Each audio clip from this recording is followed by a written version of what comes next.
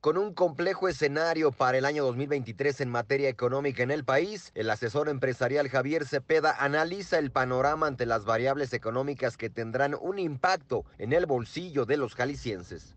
Vamos a arrancar un 2023 en el que tenemos que ser muy cautos financieramente hablando. Por un lado, la inflación en sus picos más elevados y la aceleración que realizó no se va a ver en la misma medida, en la misma proporción, su desaceleramiento a partir del próximo año. O sea, todavía bajará, sí, pero bajará muy lentamente. ¿Qué quiere decir? Que durante, todo el próximo año todavía será un, un, tema complejo financieramente hablando para los empresarios. Yo desde ahorita, a través de ciertos análisis que, que he estado realizando, yo pudiera estimar que la inflación para el cierre de 2023, a pesar de que todavía pueden este, surgir algunas sorpresas, podría estar oscilando al 5%.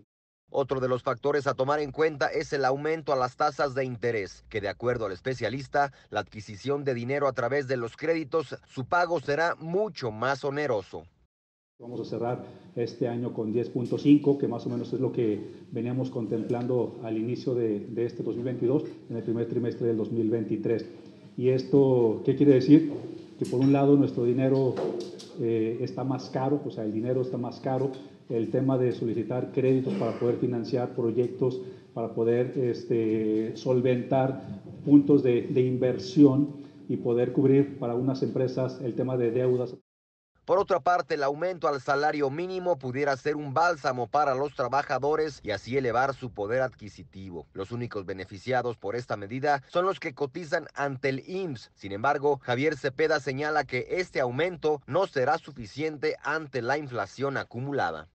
Estamos hablando, 312, perdón. Estamos hablando de que este aumento que se acaba de anunciar hace algunos días Sí, es un aumento interesante, 20% promedio, sin embargo considero que no sería suficiente para, para, el sector laboral. ¿Por qué? Por lo que mencionaba al principio.